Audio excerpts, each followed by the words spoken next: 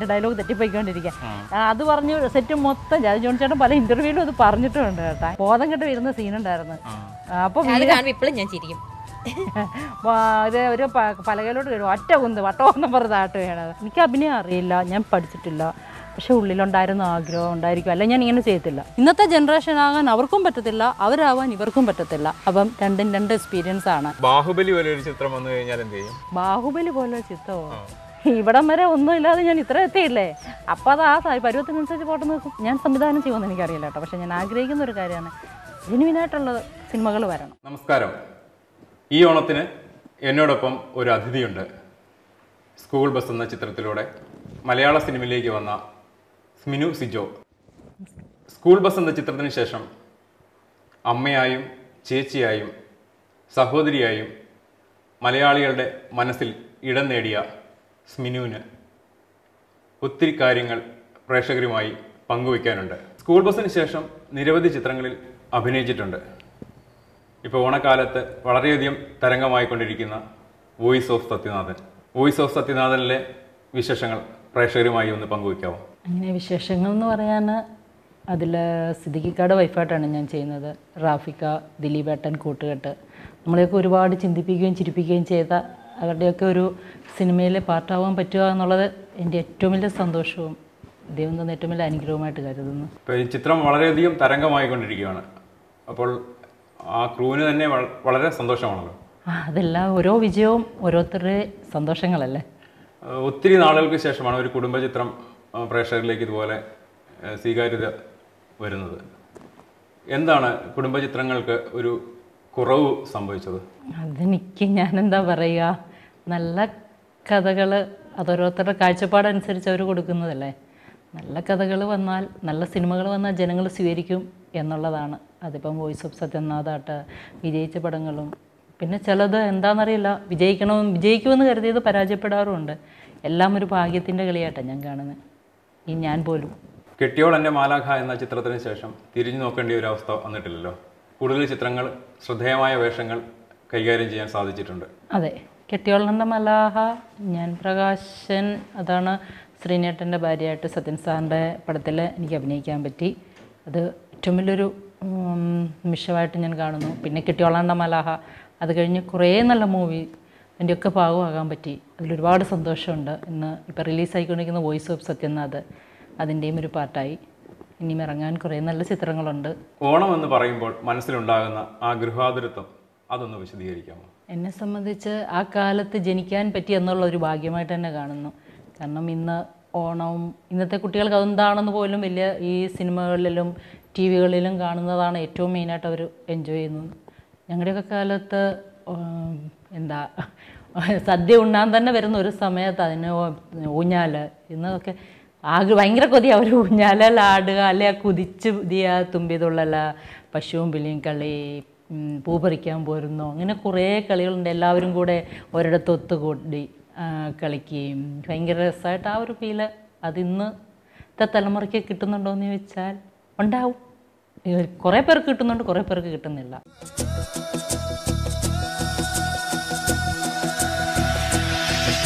ഓണക്കാലത്തെ മറക്കാനാവാത്ത എന്തെങ്കിലും അനുഭവങ്ങളുണ്ടോ? ഓണക്കാലത്തെ മറക്കാനാവാത്ത അനുഭവം എന്ന് ചോദിച്ചാൽ നമ്മൾ ഈ ഓണപരിപാടികൾ നടത്തത്തില്ലേ?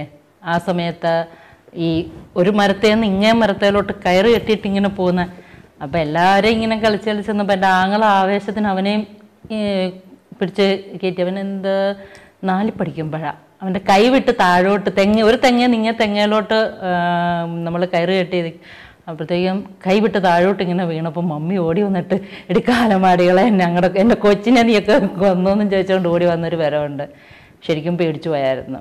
ആ ഒരു ഇതുണ്ട് പിന്നെ അവസാനം കലാശക്കൊട്ടെന്നും പറഞ്ഞുകൊണ്ട് ഊഞ്ഞാലിന്റെ അവസാനം ഓണം കഴിയുമ്പോൾ അഴിക്കേണ്ട ഒരു സമയമാകുമ്പോൾ എല്ലാവരും കൂടെ കയറി ഇരുന്നിട്ട് അതിലൊരു ഇതുണ്ടല്ലോ. അന്നേരം ഇപ്പം ഊഞ്ഞാൽ പൊട്ടി കമ്പൊടിഞ്ഞ് താഴെ വീണു. അപ്പം പേടിച്ചിട്ട് എല്ലാവരും അന്നത്തെ പെരുമ്പരക്കം പാടി കിട്ടുന്നത്. പേടിച്ച് എല്ലാവരും ഞങ്ങളുടെ ഈ ചേന നട്ട കൃഷിയുണ്ട്.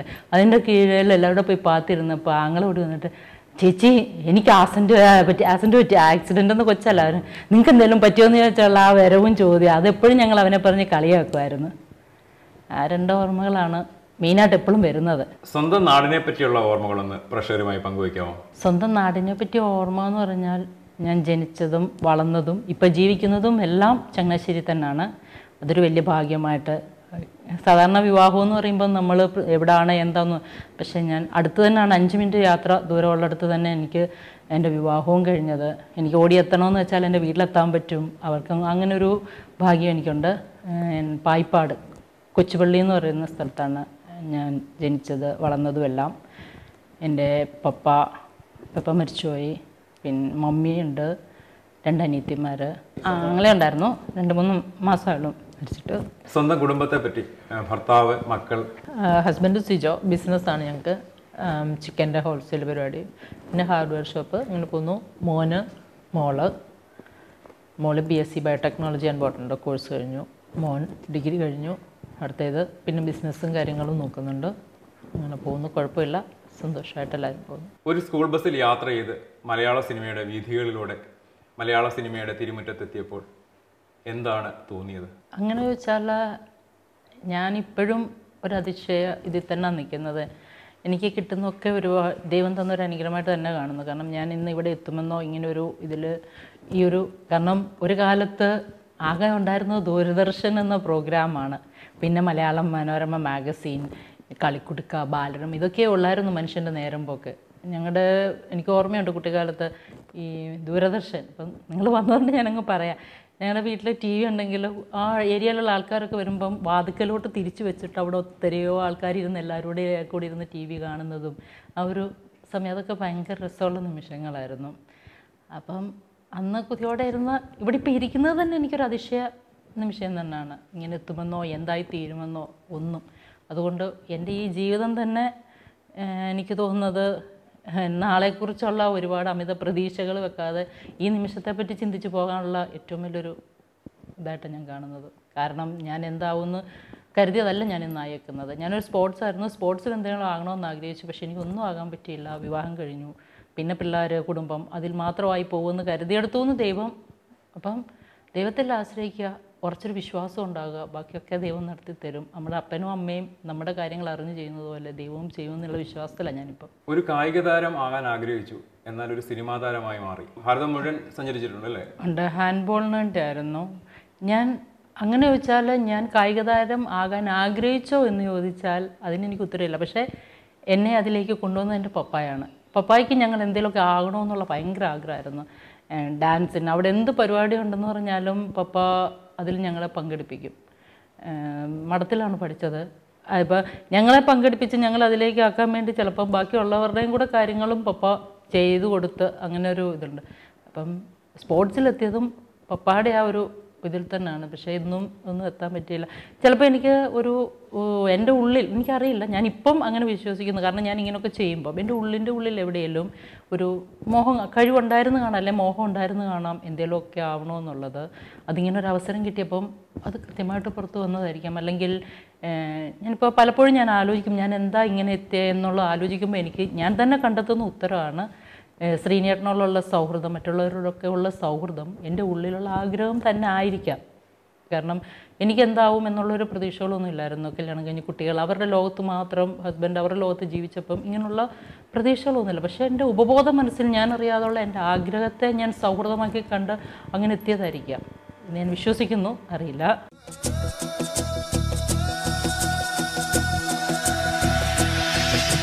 ഒരു കായിക താരത്തിൽ നിന്ന് ഒരു സിനിമാ താരമായി ഇന്ന് മാറി. എങ്ങനെയാണ് ഈ സിനിമയിലേക്കുള്ള വരവ്? ആരാണ് അതിന്റെ പിന്നിൽ പ്രവർത്തിച്ചത്? ഞാൻ കായിക താരത്തിൽ നിന്ന് സിനിമാ താരത്തിൽ എത്തിയെന്ന് പറയുമ്പം ഞാൻ ആ കായിക താരത്തിൽ നിന്ന് എനിക്കൊന്നും നേടാൻ പറ്റിയിട്ടില്ല. എനിക്ക് മത്സരങ്ങളിൽ പങ്കെടുക്കാൻ പറ്റി. ആ കിട്ടിയത് കൊണ്ട് ഇപ്പം ഒരു വേറെ ഒരു ജോലിയോ അങ്ങനെ ഒന്നിലേക്കും എനിക്ക് എത്താൻ പറ്റിയിട്ടില്ല. രണ്ട് വെങ്കലമുണ്ട് എന്ന അതാണ് പിന്നെ കുറേ സർട്ടിഫിക്കറ്റ് ഉണ്ട്.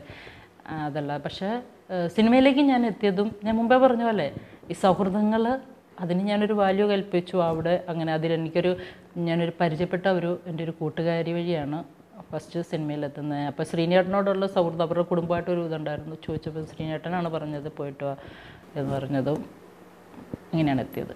ആദ്യത്തെ സിനിമ അനുഭവം ഒന്ന് പങ്കുവയ്ക്കാമോ ആദ്യം എന്നെ സിനിമയിലേക്ക് വിളിച്ചപ്പം ഞാൻ നോ തന്നെ പറഞ്ഞത്. അത് എന്തുകൊണ്ടാണെന്ന് പറഞ്ഞാൽ എനിക്ക് പേടിയായിരുന്നു മറ്റുള്ളവരെന്ത് പറയും? ഈ മറ്റുള്ളവരെന്ത് വിചാരിക്കുമോ വിചാരിക്കും എന്നുള്ളൊരു ചിന്തയുണ്ടല്ലോ. അതാണല്ലോ നമ്മളെല്ലാവരെയും പുറകിലോട്ട് വലിക്കുന്നത് അപ്പം ഫസ്റ്റ് എന്റെ ഹസ്ബൻഡാണ് പറഞ്ഞത് നമുക്ക് പോയി നോക്കാമെന്ന് അപ്പം ഞാൻ ഓർത്തച്ച അങ്ങനെ പറയുമെന്ന് പോലെ ഞാൻ വിചാരിച്ചില്ല പക്ഷേ നമുക്ക് പോയി നോക്കാം എന്താണ് പിന്നെ സിജാന്റെ എന്റെ ഹസ്ബൻഡിന്റെ അമ്മയുടെ അനിയത്തിയ ഉണ്ട്. കുഞ്ഞാന്റെയെ വിളിച്ച് ഞാൻ ചോദിച്ചപ്പോൾ കുഞ്ഞാന്റെയും പറഞ്ഞു പോയി നോക്കാൻ പറഞ്ഞു.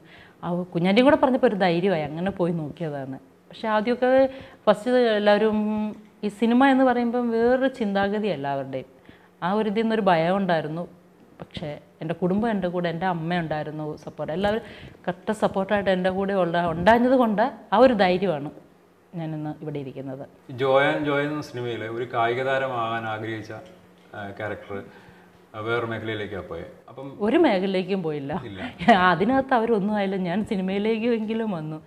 ഓൾമോസ്റ്റ് ആ ഒരു ഇതായിരുന്നു. നമ്മുടെ ജീവിതം പോലും അങ്ങനെ തന്നെ ആയിരുന്നു. അടുക്കള കുടുംബം ആ ഒരു പക്ഷെ എന്നാ ചിലവർ ഇപ്പോഴത്തെ ആൾക്കാർ പറയും അടുക്കളയിൽ നിൽക്കുന്നത് അല്ലെ അങ്ങനെ നിൽക്കുന്നത്. പക്ഷെ സ്ത്രീ എന്ന ഇതിൽ കുടുംബത്തിന് വേണ്ടി അങ്ങനെയൊക്കെ ചെയ്യുന്നത് ഒരു അഭിമാനം തന്നെയാണ്. ഒരു സന്തോഷ നിമിഷം തന്നെയായിട്ടാണ് ഞാൻ ആ നിമിഷങ്ങളെ കണ്ടുകൊണ്ടിരുന്നത്. നമ്മളൊരു നല്ല സാധനം ഉണ്ടാക്കിയിട്ട് നല്ലൊരു ഫുഡ് ഉണ്ടാക്കിയിട്ട് കൊടുക്കുമ്പോൾ ആ കൊള്ളാമെന്ന് കേൾക്കുമ്പോൾ ഉള്ളിലൊരു ഭയങ്കര സന്തോഷമാണ്. നമ്മൾ ടേസ്റ്റോടെ ഒരു ആഹാരം ഉണ്ടാക്കി കൊടുക്കുമ്പോൾ അതിന് രുചിയുണ്ട് അല്ലെങ്കിൽ നല്ലതാണ് എന്നൊക്കെ കേൾക്കാൻ വേണ്ടി സ്ത്രീ ഞാൻ മറ്റുള്ളവരുടെ എനിക്കറിയില്ല കേട്ടോ എനിക്കതൊരു സന്തോഷ നിമിഷമായിരുന്നു. യാതൊരു അഭിനയത്തിന്റെ സർവകലാശാലയിലും പഠിച്ചിട്ടില്ല. എന്നാൽ വളരെയധികം ഉയർന്ന തലത്തിൽ ഇന്ന് എത്തുകയും ചെയ്തു അഭിനയ മേഖലയിൽ. എന്താണ് അതിന്റെ ഒരു രഹസ്യം? എനിക്ക് കുഞ്ഞിലെ തൊട്ട് സ്റ്റേജ് ഭയങ്കര പേടിയായി പിന്നെ ഡാൻസിന് കളിക്കാൻ കൊണ്ട് നിർത്തിയാലും കുഞ്ഞിലെ ഞങ്ങൾ ചങ്ങനാശ്ശേരി ക്ലൂനി എന്ന് പറയുന്നിടത്താണ് ഞാൻ ആദ്യം പഠിച്ചത്. അവിടെയൊക്കെ ഡാൻസിന് കിട്ടിയാലും കരഞ്ഞ് ഞാൻ ബഹളം ഉണ്ടാക്കി ഇറങ്ങും. പിന്നെ ഫ്രാൻസ് ഡ്രസ്സിന് എന്റെ മമ്മി എന്നെ ഒരു കല്യാണ പെണ്ണായിട്ട് ഒരുക്കി ഒരു കന്യാസ്ത്രീയായിട്ടൊക്കെ ഒരിക്കൽ സ്റ്റേജിൽ കയറ്റിയിട്ട് ഞാൻ കരഞ്ഞു കൂവി കയറാതിരുന്നിട്ട് ഇടി അടി കൊണ്ട് ഞാൻ വീട്ടിൽ വന്ന് എനിക്ക് ഓർമ്മയുണ്ട് കുഞ്ഞിലെ.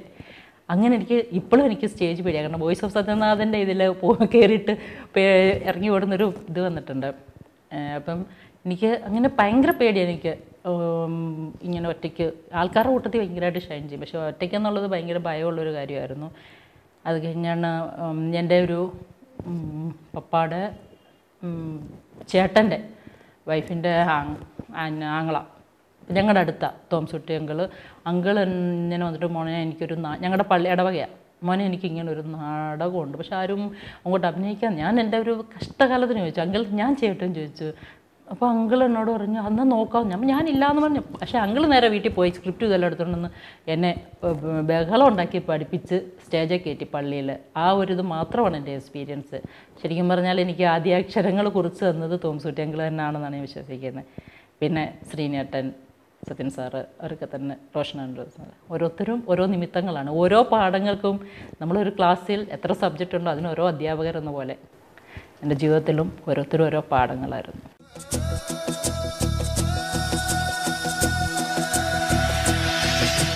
ജ്ഞാനപ്രകാശനിൽ ശ്രീനിവാസന്റെ ഭാര്യയായിട്ട് അഭിനയിച്ചപ്പോൾ എന്താണ് തോന്നിയത്?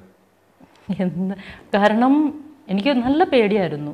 സ്കൂൾ ബസ്സിൽ ഫസ്റ്റ് അഭിനയിക്കാൻ ചെന്നപ്പോൾ തന്നെ എനിക്ക് പനി പിടിച്ചായിരുന്നു. ഉള്ളത് പറയാമല്ലോ എനിക്ക് നല്ല ടെൻഷൻ കാരണം ചുമയും പനിയും തുമ്മലും എല്ലാം കൂടെ ആയിരുന്നു. എന്റെ ടെൻഷൻ കണ്ടിട്ട് എനിക്കൊരു മറ്റേ പില്ലോ എടുത്ത് തന്നിട്ട് കൈ പിടിച്ച് ഇരി- ഇരിക്കുന്ന സീനായിരുന്നു പിന്നെ ജയസൂര്യയുടെ കൂടെ ആയിരുന്നു ഫസ്റ്റ് ഞാൻ അഭിനയിക്കുന്നത്. പുള്ളി നല്ല സപ്പോർട്ടായിരുന്നു പിന്നെ ഞാൻ പ്രകാശന് ശ്രീനേട്ടന്റെ കൂടെയൊക്കെ അഭിനയിക്കാൻ കിട്ടുക എന്ന് പറഞ്ഞാൽ സത്യൻ സാറിന്റെ പടം.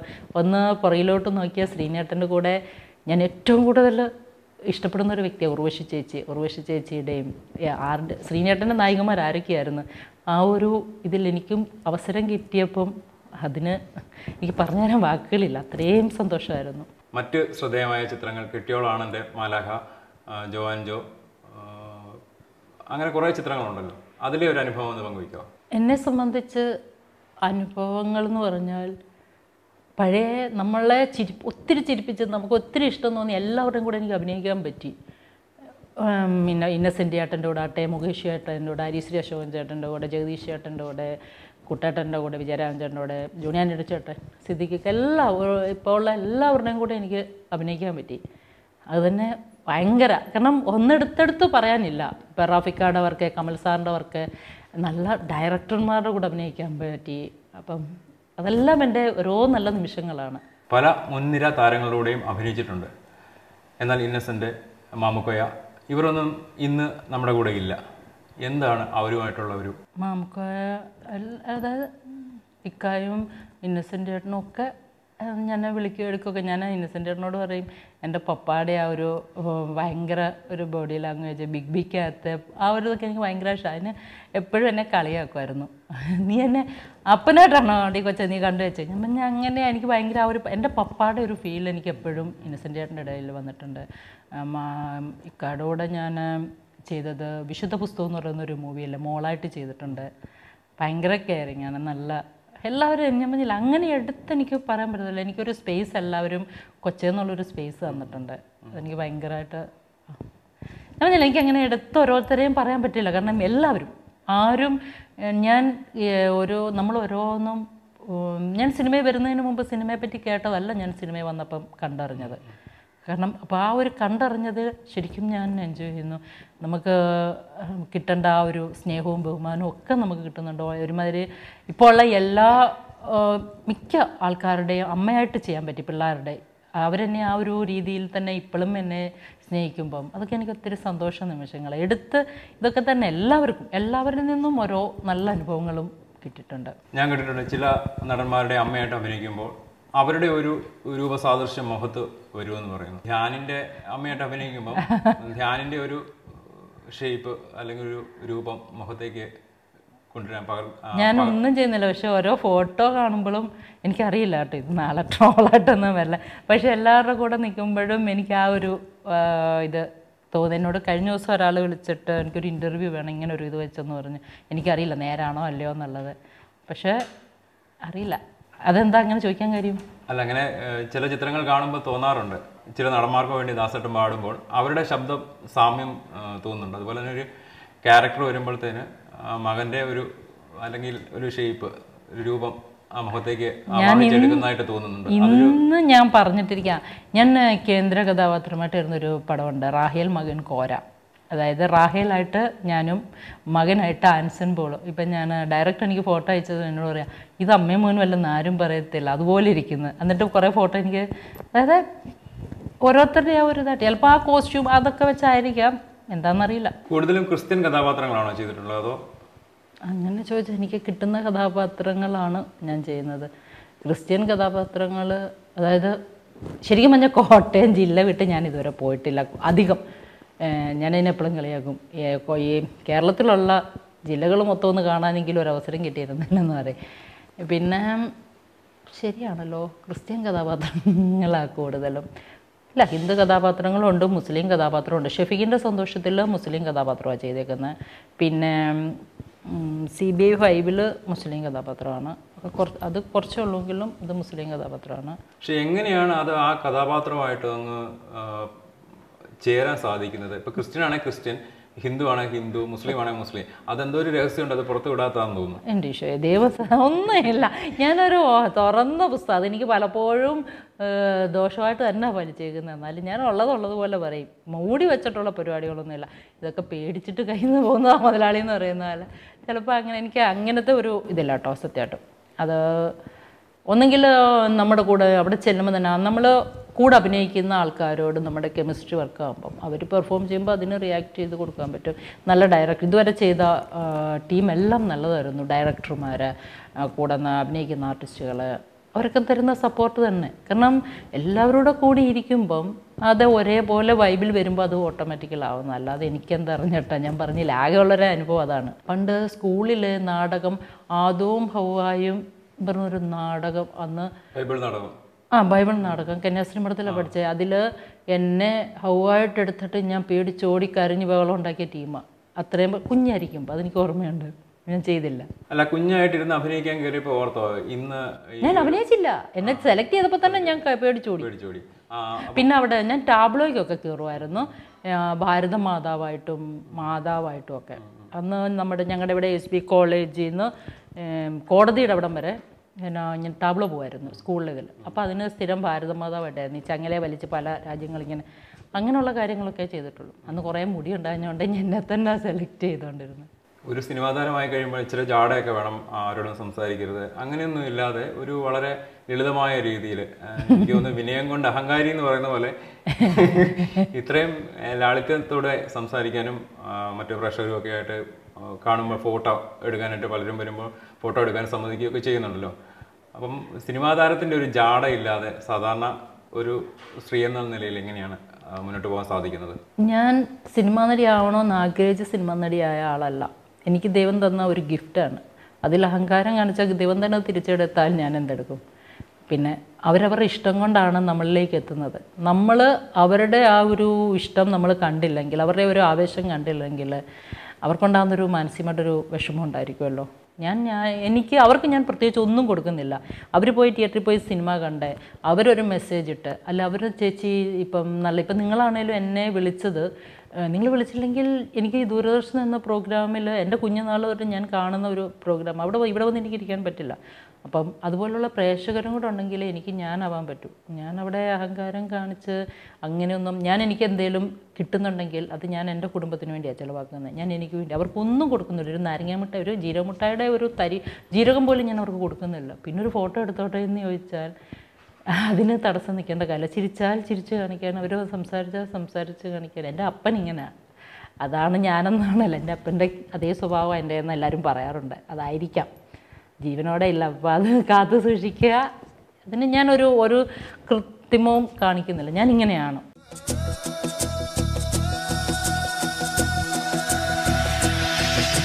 ഒരു ഫേസ്ബുക്ക് പോസ്റ്റിൽ കണ്ടതാണ് ദാരിദ്ര്യം പിടിച്ച ചേച്ചി ഓടിക്കാൾ വാങ്ങിയെന്ന്. അപ്പം അത്തരം ക്യാപ്ഷനുകൾ കാണുമ്പോൾ എന്താണ് മനസ്സിൽ അത് അവർ സിനിമയിൽ എന്നെ കണ്ടിരിക്കുന്നത് ആ ഒരു കാഴ്ചപ്പാടിലാണ്.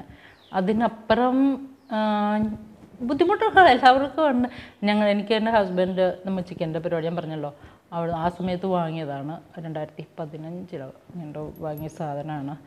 പിന്നെ അവർ ദാരിദ്ര്യം പിടിച്ചതെന്ന് എനിക്കൊരു നല്ല നൈറ്റിയോ ഒരു സാരിയോ പോലും എന്റെ സിനിമകളിൽ കണ്ടിട്ടില്ല. അപ്പോൾ അവർക്ക് ആ ഒരു ഇത് മാത്രമാണ്. ഞാൻ സിനിമയിൽ നിന്ന് കുറച്ച് സൗഹൃദങ്ങളും എനിക്ക് നല്ല ഡ്രസ്സുകളും. എന്നെ കാരണം അതിനു മുമ്പ് എനിക്ക് നല്ല ഡ്രസ്സുകളുണ്ട്. അന്ന് പക്ഷേ എന്നാ സിജാചാച്ചനോട് മേടിക്കണമായിരുന്നു. ഇന്ന് അച്ഛനെ ബുദ്ധിമുട്ടിക്കാതെ എനിക്ക് നല്ല ഡ്രസ്സ് വാങ്ങാൻ പറ്റും. എന്റെ വീട്ടിൽ എന്റെ അമ്മയ്ക്ക് അല്ലെങ്കിൽ എന്റെ സഹോദരങ്ങൾക്കൊക്കെ സന്തോഷത്തോടെ എനിക്ക് കൊടുക്കാൻ എന്റെ കയ്യിലുണ്ട് എന്നുള്ളതാണ് ഇന്ന് എനിക്ക് സിനിമാ ജീവിതം കൊണ്ടുള്ള ആകെ ഒരു എന്റെ കുഞ്ഞുങ്ങളുടെ കാര്യങ്ങളാണേലും. കാരണം അല്ലെങ്കിൽ ഇതൊക്കെ ആ മനുഷ്യൻ കഷ്ടപ്പെടുമ്പോൾ ആ മനുഷ്യന്റെ കയ്യിൽ നിന്ന് തന്നെ എടുക്കണം. അതിനൊരു നമുക്കും ഒരു ലിമിറ്റേഷൻ വരും.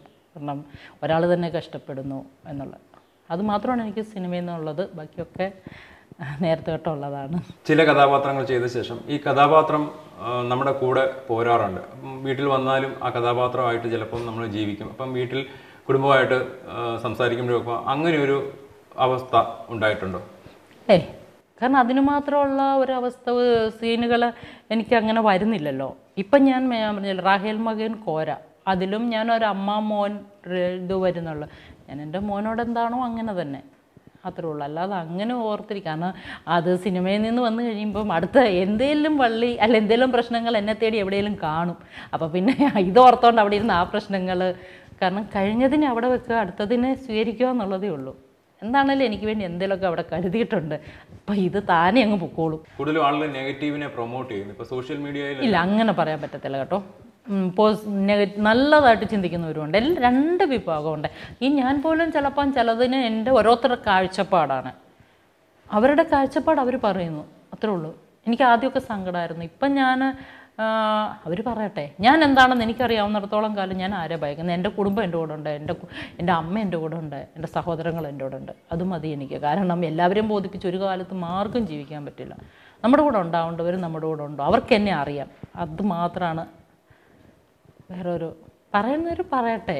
എന്നോട് എല്ലാവരും പറയും ഇങ്ങനെ എനിക്ക് ആദ്യമൊക്കെ സങ്കടം വരുമ്പം നമുക്ക് എനിക്ക് ഞാൻ എന്താണെന്ന് അറിയാവുന്നിടത്തോളം കാലം ഞാൻ ഭയക്കേണ്ട കാര്യമില്ല. കണ്ണ് താ നമ്മൾ സംസാരിക്കുമ്പോൾ കണ്ണി നോക്കി സംസാരിക്കാനുള്ള തന്റെ എനിക്കുണ്ട്. നിരവധി സിനിമകളിൽ അഭിനയിച്ചിട്ടുണ്ടല്ലോ. അപ്പോൾ ഈ സിനിമകളുടെ സെറ്റുകളിൽ ഉണ്ടായ രസകരമായ എന്തെങ്കിലും ഓർമ്മകൾ പ്രേക്ഷകരുമായിട്ടൊന്ന് പങ്കുവെക്കാൻ പറ്റുമോ രസകരമായ ഓർമ്മകൾ ആ ജോൻജോയുടെ ലൊക്കേഷനിലെ ജോണി ആന്റണി ചേട്ടനും ഞാനും കൂടെ ഉള്ള സീന് നിങ്ങൾ രണ്ടുമാണല്ലോ കൂടുതലും ചിത്രങ്ങളിൽ അഭിനയിച്ചു ഏ ഇല്ല അങ്ങനെ അധികം ഞാനും ജോൺ ചേട്ടനോട് രണ്ട് സിനിമ ഇത് വന്നുള്ളൂ. പക്ഷേ ജോൻ ജോ അത്രയും ഒരു ഹിറ്റ് ആയതുകൊണ്ടാണ് എല്ലാവരിലും ഞങ്ങളെ ജോഡി എന്നുള്ള ആ ഒരു രജിസ്റ്റർ വന്നേക്കുന്നത്. ജുണിയാൻ ചേട്ടൻ ഞാനിവിടെ ഉള്ള സീനില്ല ജുണിയാൻ ചേട്ടന്റെ ഡയലോഗ് തെറ്റിപ്പോന്നു. കുറേ എടുത്തു കഴിഞ്ഞപ്പോൾ ഓക്കെ ഞാനപ്പം ഡയലോഗ് തെറ്റാതെ പറയുന്നു. പിറ്റേ ദിവസം ഷൂട്ട് തുടങ്ങിയപ്പോൾ എന്റെ ഡയലോഗ് തെറ്റുക ആ.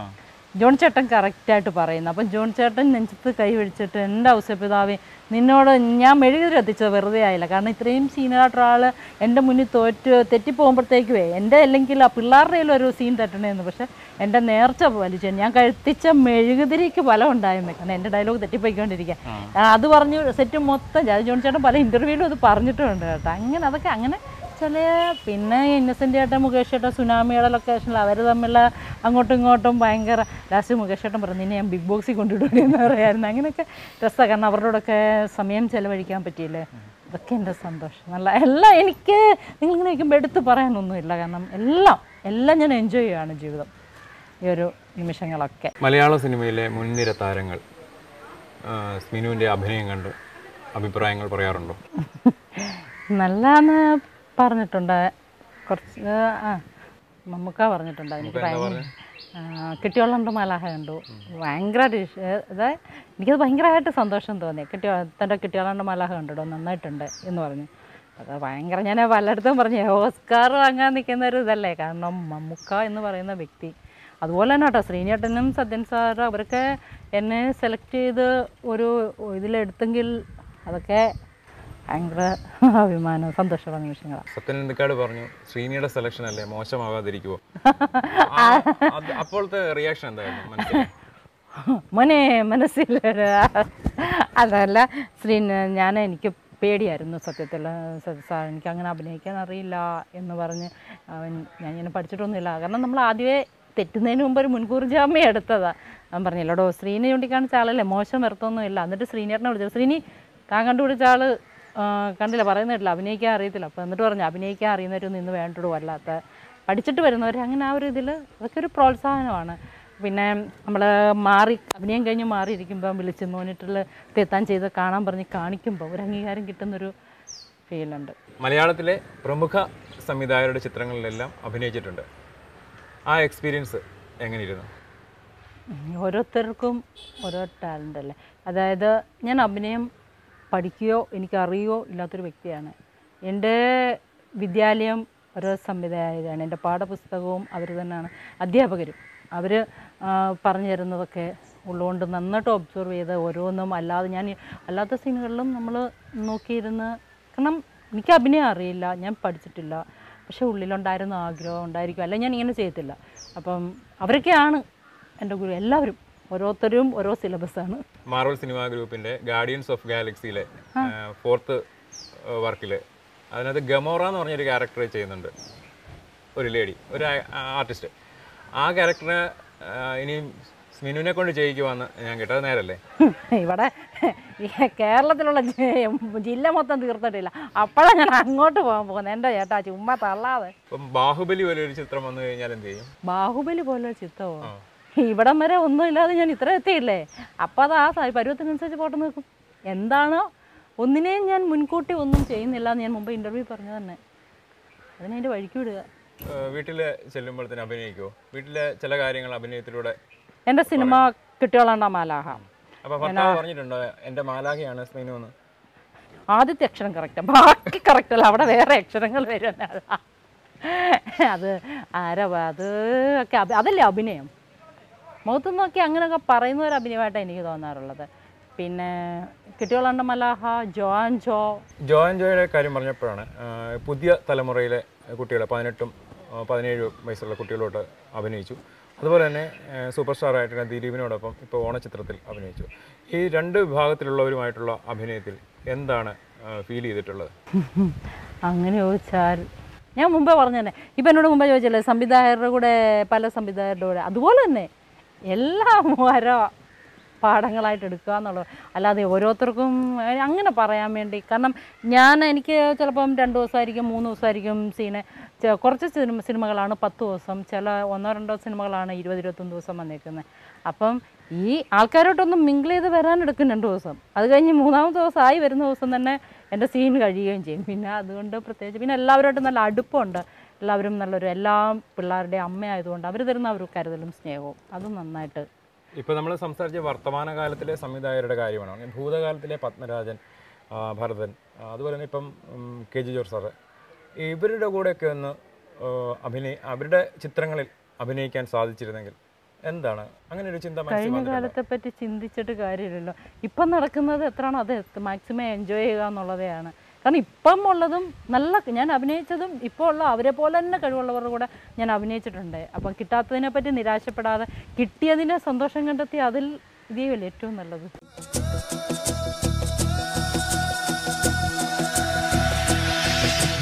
എൺപതുകളിലും തൊണ്ണൂറുകളിലും നിരവധി കുടുംബ ചിത്രങ്ങൾ നല്ല പാട്ടുകളുള്ള കുടുംബ ചിത്രങ്ങൾ നമുക്ക് ഉണ്ടായിരുന്നു. ഇന്നത്തെ കാലഘട്ടത്തിൽ കുടുംബ ചിത്രങ്ങൾക്ക് മൂല്യം കുറഞ്ഞു പോകും. എന്താണ് അതിന്റെ കാരണം? അതെനിക്കറിയില്ല. പണ്ടത്തെ കുടുംബ ചിത്രങ്ങൾക്ക് മൂല്യം കൂടുന്നത് അന്നത്തെ കാലഘട്ടത്തിലെ കൾച്ചർ അതായിരുന്നു. ഇന്നത്തെ കാലഘട്ടത്തിന്റെ കൾച്ചർ മാറുന്നതനുസരിച്ച് ആ ആ ക- എഴുതുന്ന ആൾക്കാരുടെ കാഴ്ചപ്പാട് അതായിരിക്കും. അതുകൊണ്ടായിരിക്കാം. ഇന്ന് നമ്മൾ കാറിൽ പോവുകയാണെങ്കിൽ നമ്മൾ പഴയ ചിത്രങ്ങളുടെ പാട്ടുകളാണ് കേൾക്കാൻ. ഇന്ന് നമുക്ക് പെട്ടെന്ന് ഓർമ്മ വരുന്ന പാട്ടുകൾ പോലും ചുരുക്കമാണ്. ഇല്ലെന്നല്ല കേട്ടോ ചുരുക്കമാണ്. സംഗീതം എനിക്ക് ഭയങ്കര ഇഷ്ടമാണ് ഒരു ഒരു- ഇന്ദ്രജിത്ത് മറ്റേ ഇതിനകത്ത് പാടിയല്ല പുതിയ മുഖം മതി അങ്ങനെ. എനിക്ക് പാട്ട് ഭയങ്കര ഇഷ്ടമാണ് എന്റെ സുഹൃത്ത് വിന്നി എന്ന് പറയുന്ന എന്റെ ഒരു കൂട്ടുകാരുണ്ട് എന്റെ കൂടെ പഠിച്ചതല്ല പക്ഷേ ഞാൻ പഠിച്ച സ്കൂളിലാണ് അവളായിരുന്നു പ്രെയർ സോങ്ങും ഇതെല്ലാം ഇത് ചെയ്യുന്നത് ആ ഒരു ഇഷ്ടം എനിക്ക് അവളോടുണ്ട് ഇന്നും ആ ഇഷ്ടം. എന്നും വിളിയും പറിച്ചിട്ടൊന്നുമില്ലെങ്കിലും എന്റെ സുഹൃത്തുക്കൾ ആരാണെന്ന് ചോദിച്ചാൽ വരുന്ന ലിസ്റ്റിൽ അവളെന്റെ നല്ലൊരു സുഹൃത്താണ് വിന്നി.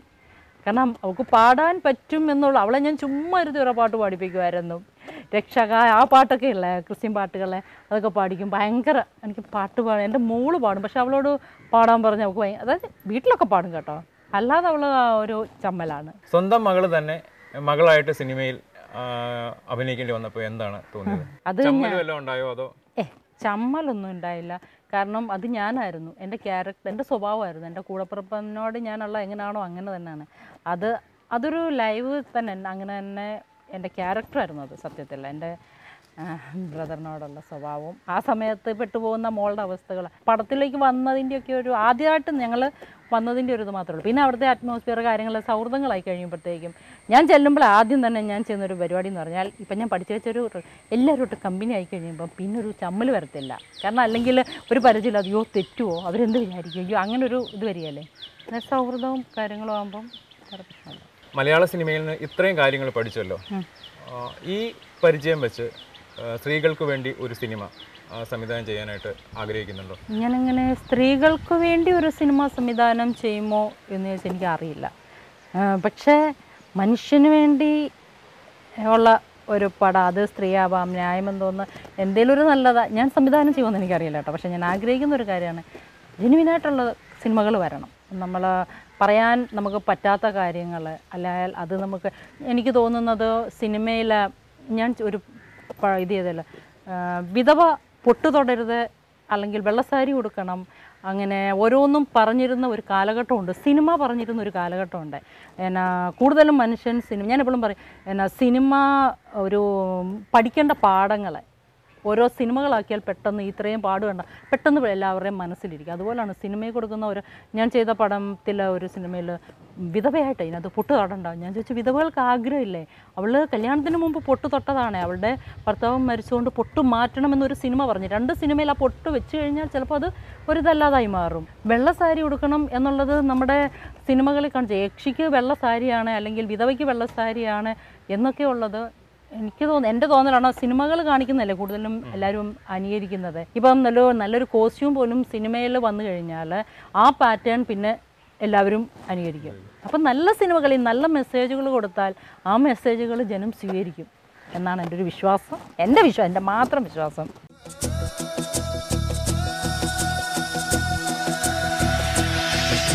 ഒരു കായിക താരം വീട്ടമ്മ അഭിനേത്രി. ഈ പകർച്ച എങ്ങനെ സാധ്യമാവുന്നു? പകർച്ച എന്ന് പറഞ്ഞാൽ കായിക താരം വീട്ടമ്മ അഭിനേത്രി. കായിക ഞാൻ കായിക താരമായിരുന്നപ്പോൾ എന്നെ കൊണ്ടു നടക്കാൻ എന്റെ അപ്പനും അമ്മയും ഉണ്ടായിരുന്നു. ഞാൻ വീട്ടമ്മയായപ്പം ഞാൻ കൊണ്ടു നടക്കുന്ന എന്റെ മക്കളും എന്നെ കൊണ്ടു നടക്കുന്ന എന്റെ ഭർത്താവും ഉണ്ടായിരുന്നു ഇന്ന് ഞാൻ സിനിമാ നടിയായപ്പം എന്നെ കൊണ്ടു നടക്കുന്ന എന്റെ മക്കളും എന്റെ ഭർത്താവും. ഇതാണ് എന്റെ കാരണം അവരാണ് എന്റെ ബലം. അവരുണ്ടെന്നുള്ളൊരു കോൺഫിഡൻസ് ആണ് ഞാൻ ഇന്ന് കായിക താരമായപ്പോൾ എന്റെ അപ്പനുണ്ടെന്നുള്ളതിൽ ഒരു കോൺഫിഡൻസ് ഞാൻ വീട്ടമ്മയായപ്പം എന്റെ മക്കൾക്ക് വേണ്ടി ഞാൻ ഉണ്ടാവണമെന്നുള്ള എന്റെ ഒരു ഇത്. ഞാൻ സിനിമാ നടിയായപ്പോൾ എന്റെ ഒപ്പം എന്റെ കൂടെ വരാൻ എന്റെ മക്കളുണ്ട്. എനിക്ക് സപ്പോർട്ടായിട്ടുണ്ട് എന്റെ ഭർത്താവുണ്ട് എന്നുള്ള എന്റെ ഒരു കോൺഫിഡൻസ് പിന്നെ എന്നെ സ്നേഹിക്കുന്ന കുറേ ജനങ്ങളുണ്ടെന്നുള്ളൊരു വിശ്വാസം. അതൊക്കെ തന്നെ. മറ്റൊരു കാര്യം ഞാൻ അറിഞ്ഞത് സിനിമ ചെയ്യുന്നത് കൂടെ തന്നെ സമാന്തരമായിട്ട് ഒരു കോഴി ഫാമും നടത്തുന്നുണ്ട്. അപ്പം സിനിമയിൽ നിന്ന് കിട്ടുന്ന പൈസയും കോഴി ഫാമിൽ നിന്ന് കിട്ടുന്ന പൈസയും ഇതൊക്കെ എവിടെ കൊണ്ടാണ് നിക്ഷേപിക്കുന്നത്? ആദ്യമേ ഒരു കാര്യം പറയാം. എന്റെ ഹസ്ബൻഡിന്റെ അച്ഛനും അമ്മയും പത്തൊമ്പത്തഞ്ച് വർഷമായിട്ട് അവർക്കുള്ളൊരു ബിസിനസ്സാണ് കോഴി ഫാം. എന്റെ എന്നെ വിവാഹം കഴിപ്പിച്ചു വിട്ടത് ഒരു കോഴിയുടെ പരിപാടി ബിസിനസ് നടത്തുന്ന ഒരു കുടുംബത്തിലേക്കാണ്. അത് കഴിഞ്ഞാണ് ഞാൻ സിനിമാ നടിയായത്. അപ്പം സിനിമാ നടി ആയിക്കഴിഞ്ഞ് എന്നോട് അതിന് നമുക്കിപ്പം കോഴിയാണ് പരിപാടിയാണ് വെള്ളപ്പൊക്കം വന്നോ പക്ഷിപ്പനി വന്നോ നമുക്ക് നഷ്ടങ്ങളും ലാഭങ്ങളും എല്ലാം ഉണ്ടാവും. ഇതൊരു ജാക്ക് പോട്ടാണേ ആ സമയത്ത് ഇപ്പം ഇത് പൈസയുടെ കാര്യം ചോദിച്ചുകൊണ്ട് ഞാൻ പറഞ്ഞു. അപ്പോൾ ആ സമയത്ത് നമുക്ക് ഒരുപാട് ബുദ്ധി അന്നൊന്നും ചോദിക്കാത്ത ആൾക്കാരെ ഇതേ ചോദ്യം എന്നോട് ചോദിച്ചിട്ടുണ്ട്. കോഴിയെ കൊന്നിട്ടുണ്ടോ? ആ കോഴിയെ കൊന്നിട്ടുണ്ട്. കാരണം എനിക്ക് ആദ്യമൊക്കെ അത് ഞാൻ ആദ്യം പറഞ്ഞു ഇതേ ചോദ്യം. അത് പറഞ്ഞിട്ട് വരാം.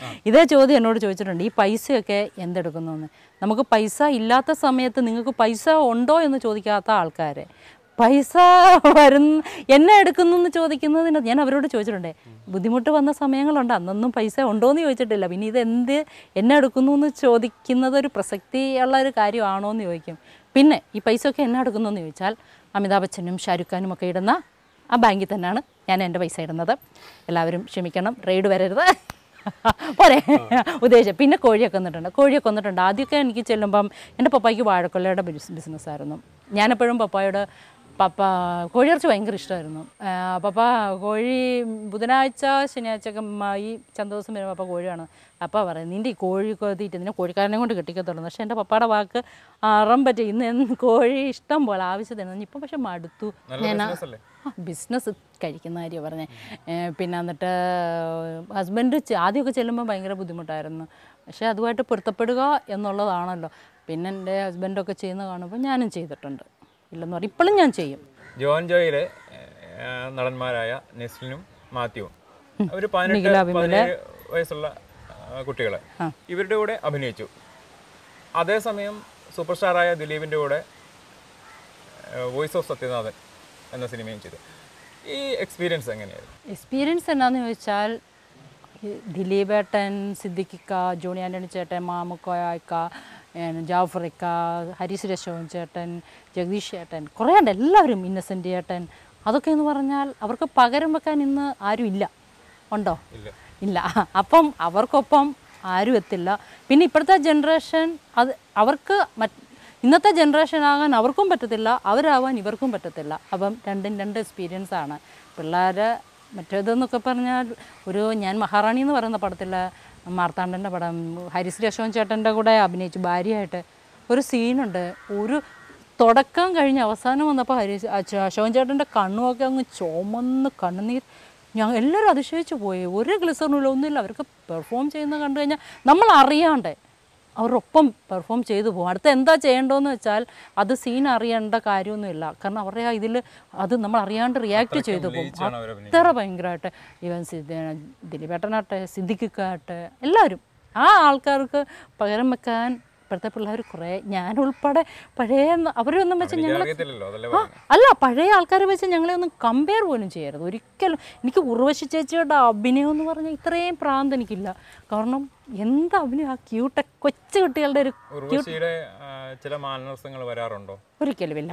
അവരുടെ ഒന്നും മാനരസം എന്റെ അയലോക്കത്തൂടെ പോലും പോകത്തില്ല. കാരണം അയ്യോ ആ പ ബ്രഷ് പല തേച്ച ഏത് സീനാണ് നമുക്ക് വേണ്ട ഓടിച്ചു വിടാൻ തോന്നുന്നു. കാണണ്ടാന്ന് തോന്നുന്നു ഒരു സീൻ പോലും ഇല്ല എനിക്ക് ഭയങ്കര ഇഷ്ടമുള്ള നടി ഏറ്റവും ഇത് ഉർവശി ചേച്ചിയാണ്.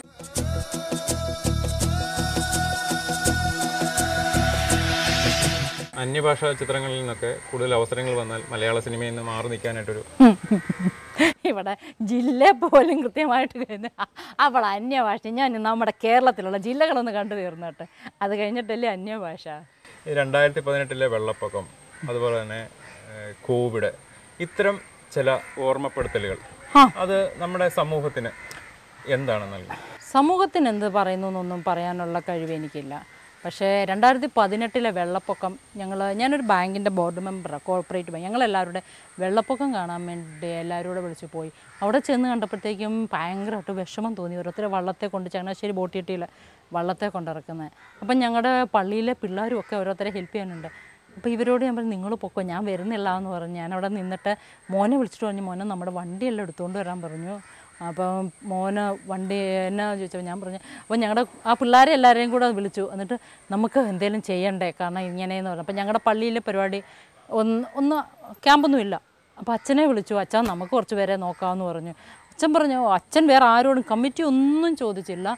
അച്ഛന് ഒരു ഇത് ഇല്ലാണ്ട് പറഞ്ഞു മിനു നീ ഇത് ചെയ്തോളാൻ പറഞ്ഞു. അപ്പോൾ കട്ടയ്ക്ക് ചങ്ക് പോലെ നിൽക്കുന്ന കുറേ പിള്ളേരുണ്ട്. ടോബിനെ മിഥുനെ എനിക്ക് പെട്ടെന്ന് ബാലുവേ കുറേ പിള്ളേർ ഇഷ്ടം പോലെ പിള്ളേരുണ്ടായിരുന്നു. അവരെല്ലാം കൂടെ കൂടി ചേച്ചി എന്നാ ഞങ്ങളുണ്ട് ചേച്ചിയുടെ ഒപ്പം റോബിനെ അങ്ങനെ ചേച്ചി ഞങ്ങളുണ്ട് കൂടെ എന്നും പറഞ്ഞുകൊണ്ട് ഞങ്ങൾ എന്നിട്ട് എല്ലാവരും കൂടെ കൂടി കുറേ ആൾക്കാർ ചെറിയൊരു സംരംഭം തുടങ്ങിയത് ലാസ്റ്റ് കാഞ്ഞിരപ്പള്ളി അങ്ങനെ കുതിര അവിടെ നിന്നൊക്കെ ആൾക്കാർ നമ്മുടെ അടുത്തോട്ട് വരാൻ പത്ത് നാലായിരം പേർക്ക് നമുക്ക് നല്ല രീതിയിൽ നോക്കാൻ പറ്റി.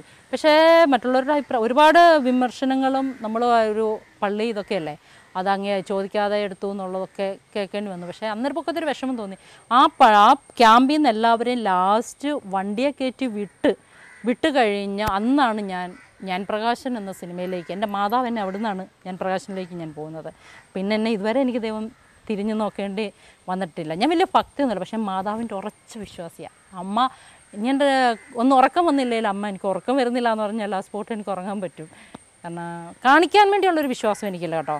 പക്ഷേ എന്റെ ഉള്ളിലെ വിശ്വാസം എന്റെ ഞാൻ ഇടയ്ക്ക് പറയാം എന്റെ പേര് അന്നമ്മ എന്നാണ് അമ്മയോട് സംസാരിക്കുമ്പോൾ അമ്മ ഞാൻ അമ്മയുടെ അമ്മയാണ് എന്നെ എന്നൊക്കെ പറഞ്ഞ് വർത്തമാനം ഞാൻ ഒരുപാട് അമ്മയോട് സംസാരം ചെയ്യും.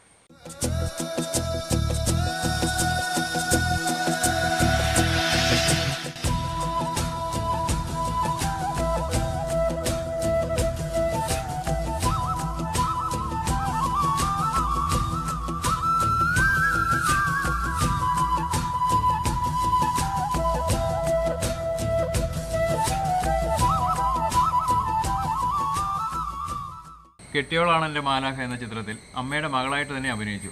വീട്ടിലെ അമ്മയാണ് അവിടെ കണ്ടത് അതോ വേറൊരു അമ്മയാണ് കണ്ടത്? വർത്തമാനല്ലേ ഏ? പറ നീ പറ. എല്ലാം ഒരുപോലെയൊക്കെ തന്നെ.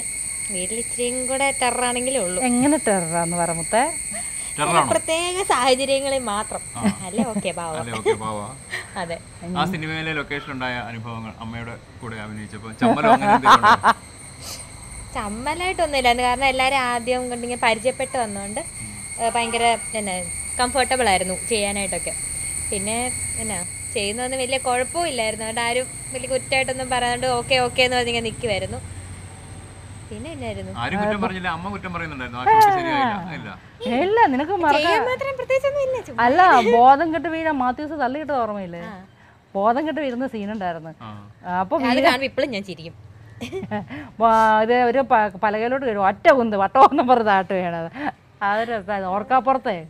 പിന്നെ ഉണ്ട് രാവിലെ ആറ് ആറര ആകുമ്പോൾ കൊണ്ട് അവിടെ ഇരുത്തും. അസാധാരണ ഒട്ടും റേഞ്ച് ഇല്ല. നമുക്ക് ഫോണെ കുത്താൻ ഒന്നും പറ്റത്തില്ല. അതുകൊണ്ട് റൂമിൽ നിന്ന് പോയിട്ട് ചെല്ലുമ്പോൾ ഈ ഗെയിം ഒക്കെ ഡൗൺലോഡ് ചെയ്യും. കുത്തിയിരുന്നു. വേറെ ഒരു പരിപാടി നടക്കത്തില്ല. ഫോൺ വിളിച്ചാൽ കിട്ടത്തില്ല. വാട്സപ്പോ ഫേസ്ബുക്കോ നെറ്റോ ഒന്നും ഈരാറ്റുപേട്ട. കുറച്ച് ഉള്ളിലോട്ട് കയറിയായിരുന്നു ഒരു ഫോണിനും ഇതില്ല റേഞ്ച് ഇല്ല. രാത്രി ഒരു ഒമ്പതര പത്ത് മണി വരെ ഇത് തന്നെ. ഗെയിം കളി അല്ലെങ്കിൽ വല്ല ബുക്കൊക്കെ എടുത്ത് വായിച്ചോണം അങ്ങനായിരുന്നു കുറേ ദിവസം. ഞാൻ ശരിക്കും പറഞ്ഞാൽ മോളെ അഭിനയിപ്പിക്കണമെന്നുള്ളൊരു ഇതിലല്ലായിരുന്നു. അവിടെ ചെന്നപ്പോൾ ഐഷു അല്ലേ നിന്നെ പൊക്കി? ഐഷുവും മുമ്മുവും കൂടെ അല്ലേ? ഫോട്ടോ കണ്ടിട്ട് ചോദിച്ചല്ലേ വാട്സപ്പിലെ ഫോട്ടോ കണ്ട് ചോദിച്ചു. എന്റെ ഞങ്ങളുടെ പറഞ്ഞതാ. അപ്പൊ കാറിൽ ഇരിക്കുന്ന മോളെ വന്ന് ഐഷുവും മുമ്മും കൂടെ പൊക്കി വിളിച്ചോണ്ട് വെളി വന്ന് എന്റെ സ്റ്റാർട്ട് വാട്സപ്പ് ഞാൻ അവിടെ അവിടെ ഇങ്ങോട്ട് ഇറങ്ങിച്ചെല്ലാൻ നിൽക്കുമായിരുന്നു അപ്പൊ ഞാൻ ഉണ്ടെന്ന് പറഞ്ഞ എന്നെ വിളിപ്പിച്ചു. എന്റെ അമ്മ അറിയാതെ എന്നെ കൊണ്ട് പോയി ട്രയൽ ഒക്കെ ചെയ്യിച്ചു നോക്കി. ആ എന്നിട്ട് പിന്നെ കുറെ സമ്മതിച്ചു. നമ്മൾ ഇല്ല അവൾക്കും താല്പര്യം ഇല്ലായിരുന്നു. താല്പര്യമുണ്ട് ഇനിയും അഭിനയിക്കണം ചോദിച്ചാൽ അവൾ ഓടിക്കണില്ല. സിനിമ കണ്ട ശേഷം അമ്മ എന്താ പറഞ്ഞു? ഞാൻ എന്നെ എന്നാ അഭിപ്രായങ്ങളൊന്നുമില്ല. അത് എന്ത് പറയാനാ? നന്നായിട്ട് മോൾ ചെയ്തിട്ടുണ്ട്. നല്ല പഠിത്തം എന്നുള്ള ഒരു ഇതിലാണ് അവൾ കൊച്ചു കൂടുതൽ ഫോക്കസ് ചെയ്യുന്നത്. അതങ്ങനെ അങ്ങോട്ട് പോട്ടെ. ഇപ്പം സിനിമയിൽ വരാൻ യോഗം ഉണ്ടെങ്കിൽ അത് ഞാൻ ഞാൻ വന്നില്ല ഈ പ്രായത്തിൽ അപ്പം അത് പക്ഷെ പഠിത്തം എന്ന് പറയുന്നത് അതാ നന്നായിട്ട് പഠിക്കും അല്ലേ? അതാണ് എന്നെ പോലെ മണ്ടിയല്ല എന്റെ വെച്ച് അതാണ്. അപ്പം മാക്സിമം ഒക്കെ വിദ്യാഭ്യാസം കൊടുക്കുക എന്നുള്ളതാണ്. മോളി ചെയ്ത കഥാപാത്രത്തെ പറ്റി പറയാമോ? ഞാൻ ചെയ്തത് അമ്മയുടെ മോളായിട്ട് തന്നെയായിരുന്നു. പേര് ടീന എന്നായിരുന്നു. അതിൽ ഫുൾ ടൈം ഇങ്ങനെ കൂടെ ഉണ്ട് വാര തൂങ്ങി നടക്കാൻ പോലെ തന്നെ അതല്ല പറഞ്ഞേ പ്രത്യേകിച്ച് ഇവിടുത്തെ കൊച്ചുമക്കളിൽ മൂത്ത ഒരു കൊച്ച്. ഇവിടുത്തെ കൊച്ചുമക്കളിലും മൂത്തൊരു കൊച്ചോ. അങ്ങനെ. അങ്ങനെ പോകുന്നു. രസമായിരുന്നു. രസമായിരുന്നു. കുറേ ആൾക്കാരെ പരിചയപ്പെട്ടു. ഞാൻ കൂടുതലും ആ തുടങ്ങുന്ന സമയത്ത് എന്റെ എപ്പോഴും എന്റെ കൂടെ പിള്ളേരെ ഇവരെനിക്കൊരു വീക്ക്നെസ്സാണ് അപ്പോൾ എവിടെ പോയാലും ഇതുങ്ങൾ രണ്ടിനെയും കൊണ്ടേ നടക്കുന്നത്. അപ്പോൾ എപ്പോഴും ഉണ്ടായിരുന്നു അങ്ങനെ പൊക്കിയതല്ലേ? സാരില്ല. Woo!